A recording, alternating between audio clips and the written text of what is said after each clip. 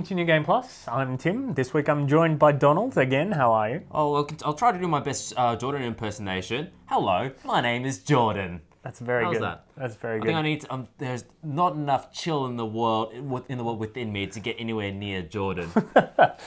But uh, in the in the recent weeks, we've had the Steam sale, Yeah. and uh, it's just ended as we are filming. And I don't think I bought anything. No, did you? I, no, I did not buy a single thing, and it's indeed been a pattern for the past couple of Steam sales. Yeah.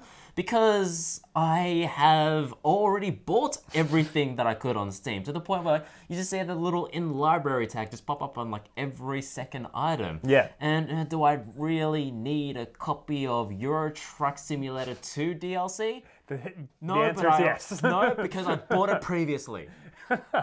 Uh, yeah, and that really seems to be the case now. And even they don't even seem as impressive anymore. It's- No. You see a lot of uh, 10% tags on new games and all that. But it's interesting to see even some games were like raising their prices and then so they could have a larger percentage off, which is not Molly- allowed. No, not, not exactly kosher right there. Yeah. But we also come from a weird position considering we play all the latest games at once. So ultimately, like, I think the best thing to do is just wait for the sales because they're so drastic. But we're in a weird Yeah. position where we're playing the latest games. The latest games such as Tim. Just Cause 3. Yeah. Look forward to that later on in the episode. I know I'm looking forward to playing that game. Mm-hmm. But we've also got uh, a look at the Uncharted collection as Yeah. well as an interview for, for the new Uncharted. Yes, and meanwhile, before all of that, we also have an old game plus where we will look at the Sega Mega Drive. But to kick things off, let's start off with a review of Transformers Devastation.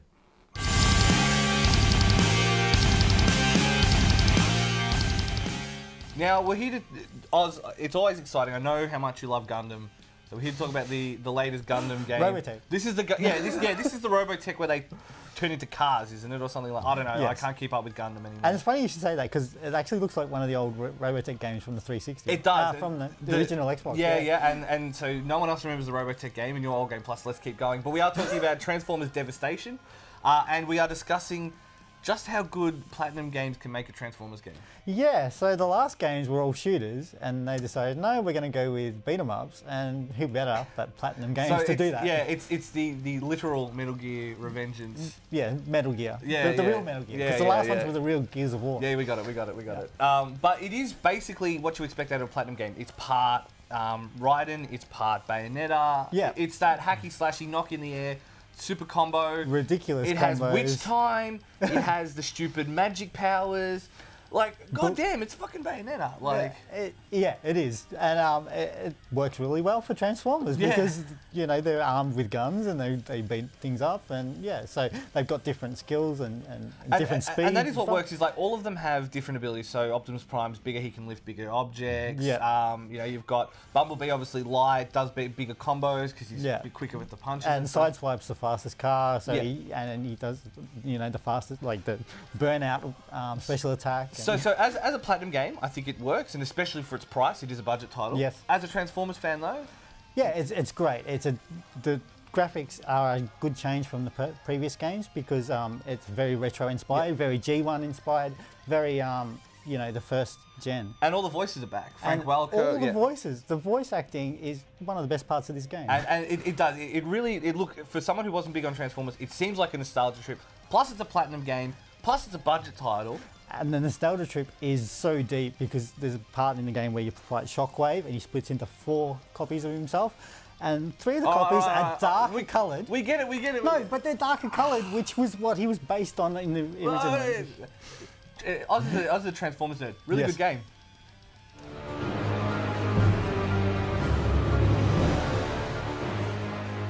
Now, Shani, Tales of Zestiria mm-hmm. is the latest one in the Tales series. Yes, it is. Now, it's one of the probably the, the, the JRPGs that's most well known for kind of breaking the paradigm of stand in a line, be a teenager, get hit by things. In Well, combat, I would say. I would say that JRPG has already broken that recently. I said it was one of the first to break the paradigm. Okay, It's literally but- what I said. Yes, but it is, and it's very, very well known for its combat and how it treats the player almost to be more technical, I guess. Yes, yeah. In the sense that it's your fault for being hit, it's your Yeah. fault for not doing as much damage as you could. Yes, and so and that, that is the one thing it always had going for it was the fact that you had the combat. All of your characters move around in battle. You can set them to do auto tasks, but then you also take control of them Mm. Yeah. to do like their specific moves and that kind of stuff as It's well.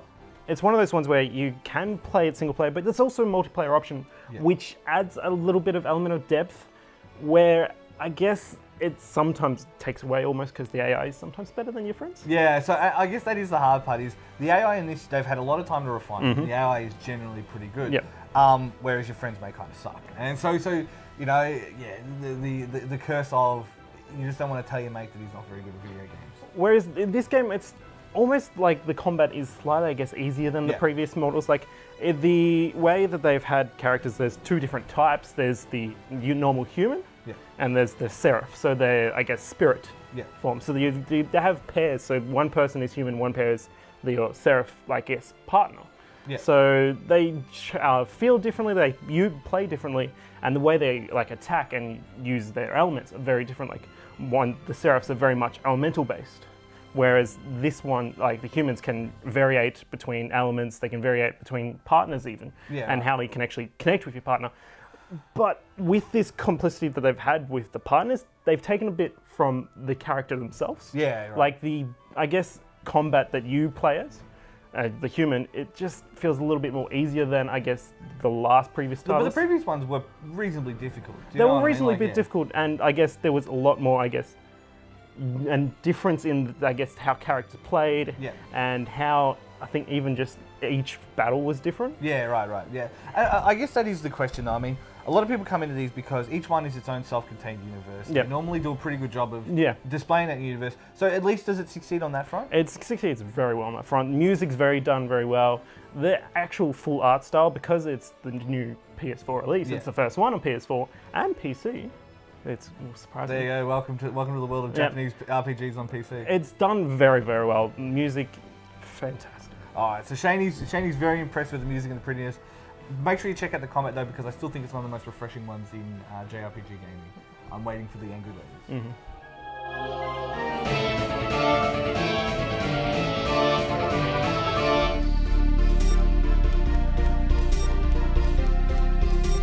Welcome to Old Game Plus, and it's the 25th anniversary of the Sega Mega Drive in Australia. Yes, it is. Launched in 1988 in uh, in Japan, and uh, soon after here, 31 million units sold, um, and there's still well still on sale now in some Yeah, ways. it's still sold in this kind of form, which is um, a smaller version with built-in games, but you can still add the old cartridges and the old controllers, which is awesome. It's cool. It, it competed uh, with the uh, Super Nintendo or the SNES. Um, it was a little bit in in some ways in some of the chips inferior, but it did have one major advantage, which was Blast processing. Ah, yes, so it had a megahertz um, processor was twice twice the speed as as a SNES, which is awesome. and that suited its its flagship game really really well. Yeah, so Um, Sonic, w- the speed that Sonic went, it could actually refresh that screen so fast that you could to keep up with it. And blast processing is the uh, coolest marketing jargon for something not very special ever. Yes. Uh, but uh, now the Mega Drive was the cool console. They, they had a, a different style of marketing. Uh, they went for a little bit of an older market. Uh, it came in black. It was, Yeah. it was, it was, it was made to be So Nintendo went for the kid family and kid and family friendly market. Sega to fo- yeah, Sega focused on the teen market. So a lot of fighters and, and brawlers were out at the time. Things like Mortal Kombat, which kind of changed the um, rating system for the video game industry, and they put it on their system uncensored.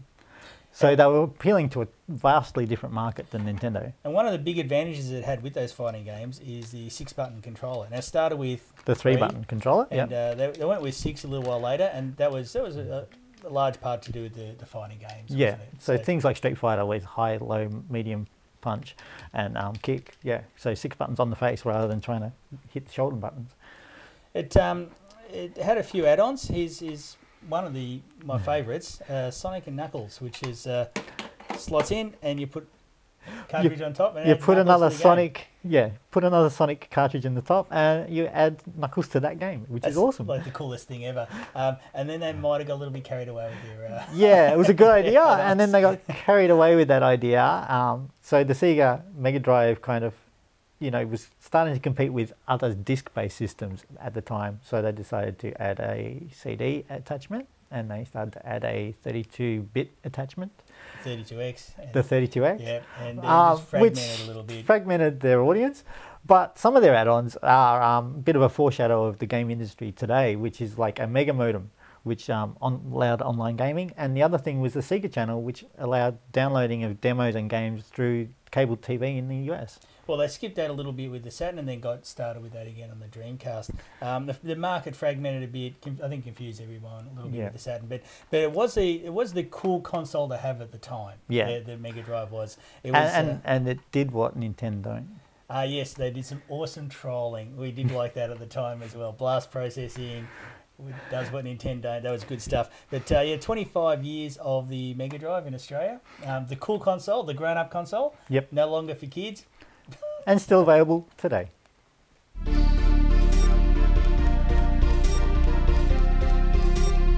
I'm here with Arne Meyer, the Director of Communications from Naughty Dog. How are you today? I'm doing really great. I'm glad to be here at PAX Australia for the first time. Yeah. Um, now, so of course, Uncharted 4 is coming very soon. Like, what was the drive from Naughty Dog to return to Nathan Drake's adventures? Uh, it, it's actually really simple. We do so many things by gut, and uh, we were saying, oh, you know, is there another Uncharted game within us? Is there a story we could tell? We're sort of exploring ideas. As we're exploring the ideas, you know, everything started feeling good. And we're like, oh, yeah, like, there is another story to tell. And I thought it was really interesting because we started exploring more of Drake's past and the fact that he's kept secrets from a lot of people, and that was a really great direction to take this game. Yeah, and you're also working on the latest console, the PlayStation Well, Has that sort of unlocked new um, opportunities in terms of the massive set pieces that the franchise is known for?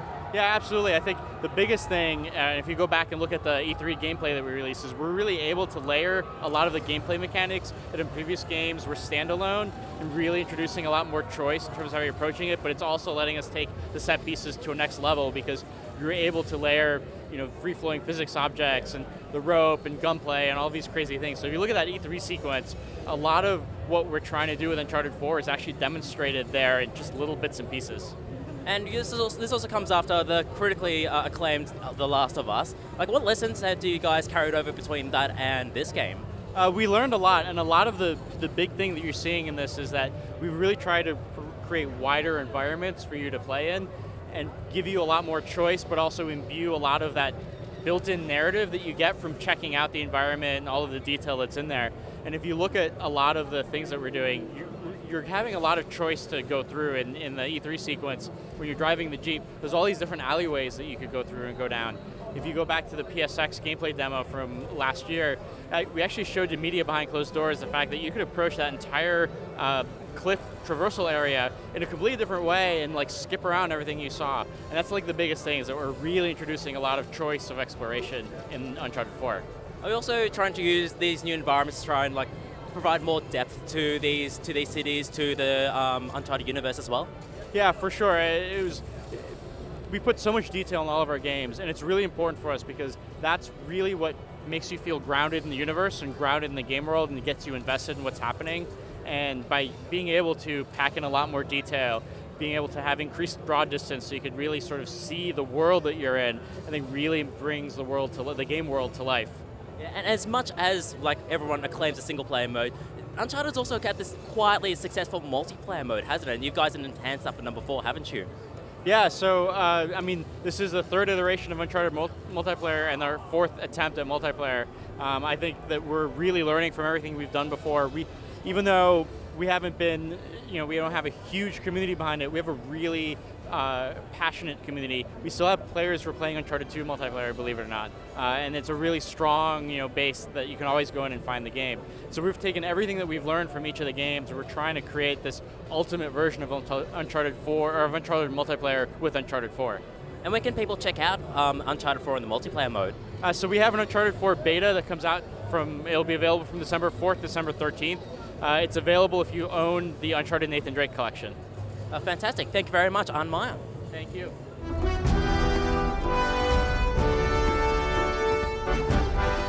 Now, Timmy, the wait for Uncharted 4 is so, so far away, or at least it feels that way, doesn't Yeah, it? Yeah, it certainly does. Luckily, Sony has drummed up together the first three Uncharted games in the series and brought it out for the PlayStation 4 remastered called the Uncharted Nathan Drake Collection. Yes, and I think it is a good time for it because it's that period where uh, if you played all these games on release like I did, you may be interested in well, a replay of it and certainly an upgraded version of them. So it's always a good time to recap as well, and this is the perfect collection to do it on. Now, this all features all the games in 1080p, glorious 1080p, as well as 60 frames per second for each game. There are a few things that have been omitted, um, including the Twitter support, as well as multiplayer, but since Uncharted 4 is coming out very soon, I don't think many people are going to care about the emissions. Yes, uh, especially uh, the multiplayer was never a strong suit of the Uncharted series, but Un- uh, uh, Uncharted 2 had pretty good multiplayer. Um, but not a lot of people were playing it for the multiplayer. Everyone was playing it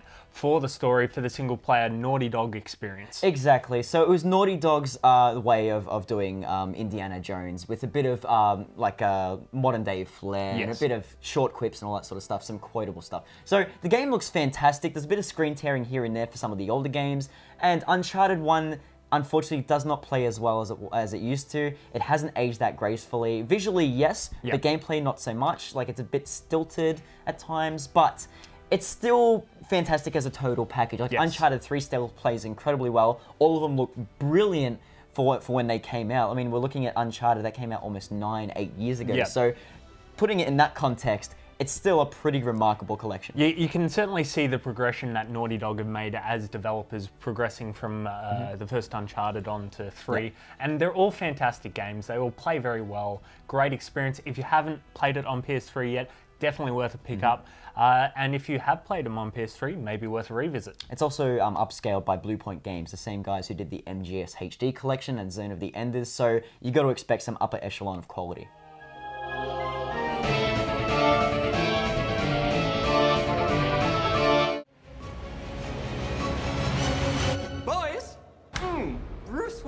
Meets Clark Kent. Ah, I love it. I love bringing people together. How are we? Lex, Hi, hello, Lex. It is a pleasure. Ow! Wow, that is a good grip. You should not pick a fight with this person.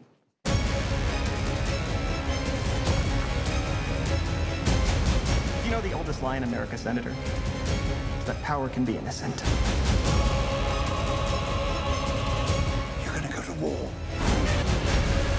Son of a bitch brought the war to us. You know you can't win this. It's suicide. The greatest gladiator match in the history of the world. Son of Krypton versus Bat of Gotham. You're psychotic. That is a three-syllable word for any thought too big for little minds. It's time you learn what it means to be a man. Stay down! If I wanted it, you'd be dead already. If man won't kill God, the devil will do it. What have you done?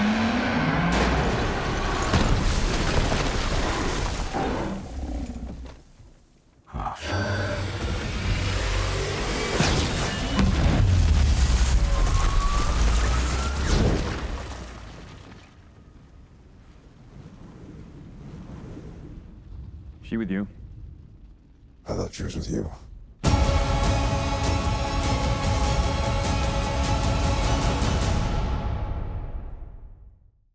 It's Batman versus Superman, the dawn of a new franchise. Yes. Uh, so, uh, personally, I'm not too excited about this one. No, uh, you Justice League yeah. movies, I'm looking forward Yeah. to, um, but not so much with the people that they've cast for these roles. What, So- Brad Pitt just ain't doing it for you?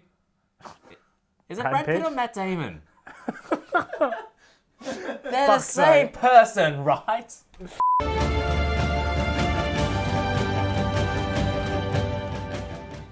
Now, Shaney, it is December, and as mm-hmm. the dust settles on uh, what has been an amazing year in video games, we're starting to think of our game of the year, thinking, what can we, what can we think of? What games are really out there that, that are truly amazing? Avalanche Studios has come busting in with guns blazing, goes, shut up, shoves Just Cause 3 down your throat, and says, how do you like them apples? I like well, it, guns blazing is actually a weird word because I didn't actually shoot many guns in this game because I had the best weapon that doesn't shoot bullets. So that uh, includes the grappling hook, Mm-hmm. correct? So Just Cause 3 um, gets you gets you into the shoes of Rico Rodriguez, a big revolutionary superstar who's um, kind of adept with explosives and action uh, B movie sequences, Mm-hmm. um, and he tries to overthrow uh, Medici, which is t- uh, which is taken over by the ravenous Di Ravello as well as his uh, little cohort. So you go in there, and it's uh, used as an excuse to chuck a whole bunch of stuff get some explosives, blow everything up, and liberate this massive town, this beautiful city. This story isn't really what you,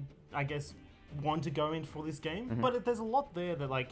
The characters are really, really well written. The dialogue's funny. Yep. It doesn't really rely on like memes just to like go bad jokes. But It is really honest humor, and I love just how much piss it takes out of itself. Yeah. It's just, it's just really honest humor, and it's fantastic. Like it's, you know, just cause one and two were fairly serious, but Rico Rod- Rodriguez likes to make fun of himself, along with everyone around the town of Medici. Yeah. So. With the gameplay in mind, the game looks absolutely gorgeous as well. Some really good shading in tow, and just the amount of stuff on screen and particle effects is just incredible. But how did we find the gameplay? the gameplay itself is just basically fun. It's kind of a concept of like you can do what you want to do. You can tether multiple vehicles to other things to make them crash into each other. Make Yeah. huge So- explosions here and there. Can blow up things with guns if you want to use guns or So the explosives. but you know. Yeah, we should we should uh, segue segue into the three main uh, main tools of the trade. So the first one is the grappling hook, which Mm. Yeah. Returns from Just Cause 2. You can tether things together like fuel tanks and watch them explode as you Yeah. pull them into each other. Get two guys, tether them to each other, Yeah. and uh, and then watch them as they headbutt each other in the face and die. Um, instantaneously, and there's also two. Th- so you also have the parachute as well, which Yeah. returns from the first Just Cause and Just Cause 2. Now the wingsuit is a completely new addition, and it is absolutely amazing. The amount of inertia, momentum you can get, and being able just to glide around the city will make you think twice about ever using cars or trucks ever again. It's one of the smartest ideas to ever do. Give you the option of the fastest movement in the game at the start. Yes, five minutes in, you have the parachute, grappling hook, and the wingsuit, and the game just goes, here are the tools of the trade, use them the way you want to, go nuts. Yeah. And I think it's absolutely amazing. The game doesn't hold your hand at all, it lets you go through any single uh, liberation of town or outpost, whichever means possible. You can go in, not fire a single bullet. It is just fun in its purest sense. Just Cause 3, definitely go and give it a go. It's awesome. If you do enjoy fun, you will most likely enjoy this game. The probability is very high though. 99.95. Those weird 0.5% people. Explosions and lots of them. Uh, it's something I'm looking forward to playing over the Christmas break. It's uh, Playing on your PC, though, yes, right? Yes, Maybe definitely. as that recording, maybe not on your console because the game we reviewed it on a PC, obviously, but the console versions has be- have been out now, Yep. and there've been reports that the performance hasn't been the best from it. That it can barely maintain 30 frames a second. On this is not even on the PS4 version. Good luck if you're on the on the Xbone. For once, too many explosions is a bad thing. Dropping the frame rate is probably not Yeah. ideal, but he's hoping that they actually get around to patching it because Yeah. it's a fun game. Of course, but here's the thing though. It's been kind of a running theme, at Yeah. least very much in the later part of this year, of the console versions being far, far inferior to the PC versions, just in terms of performance. Like, you have your exceptions like Metal Gear Solid uh, 5. And the big exception, Arkham Knight, Yeah. which still doesn't, just got released on PC and still doesn't Still support. SLI or Crossfire, and it just runs absolutely terribly. and so now it's released six months after it's, well, even longer than six months after Yeah. the consoles, and no one cares anymore. I think that, that not, not many people cared not long after that release. It was kind Yeah. of an unremarkable Batman game, but watch our review a couple of months ago for our thoughts.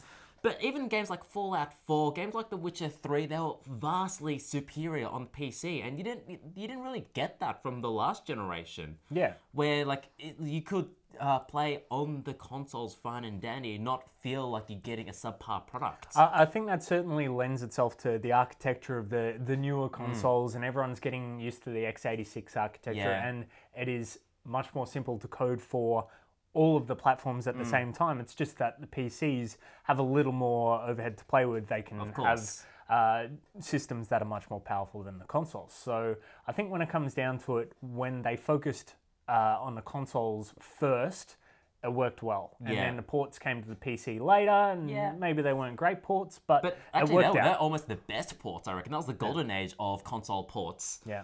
But uh, this, we're still very early in the generation, so hopefully things will improve down the track. Speaking of down the track, we've got an ep- another episode next week, don't we, Tim? Yes, we do. We take a look at indie games from PAX, Yes, we also look at take a look at Xenoblade Chronicles X.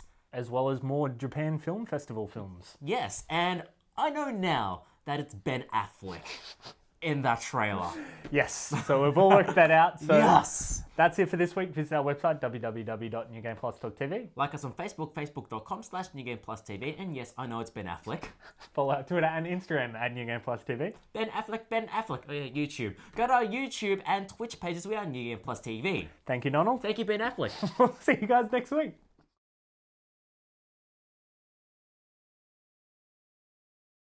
Where's my bowl of blue M&Ms? No, you want you pick out the yellow and the brown ones because they're Hawthorn colours. I do actually. I've do you do watched you do that. Yeah, I know. I eat them in football colours, and I make sure that the teams I don't like, I never eat colours that are like each other the same. so if there's a whole heap of like yellow and, and blue ones there, I'll eat all the yellow ones at once and the blue ones at once, so I don't accidentally eat West Coast combination. But if there's brown and yellows, I'll eat them together. I think we got an ending for the show. It's not weird, is it?